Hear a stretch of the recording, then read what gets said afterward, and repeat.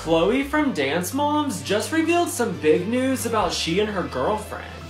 Chloe just made a post revealing that she and her girlfriend Brooke have been dating for a whole year. Congratulations.